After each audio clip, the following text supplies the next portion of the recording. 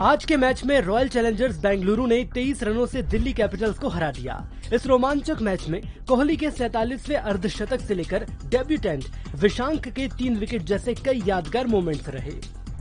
Mitchell Marsh की गेंद पर फील्डर अमन खान ने शानदार फ्लाइंग कैच पकड़ा, जिससे बेंगलुरु के कप्तान फाफ डुप्लेसिस कैच आउट हो गए। मिड विकेट पर तैनात अमन ने एक हाथ से ये कैच पकड़ा।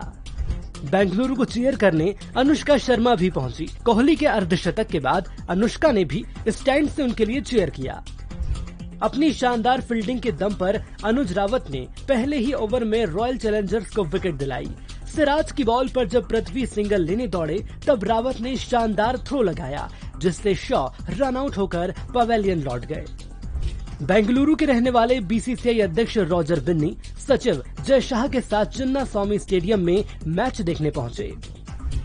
इस हार के साथ दिल्ली कैपिटल्स इस साल आईपीएल में अपना पांचवा मैच हार गई है, जिससे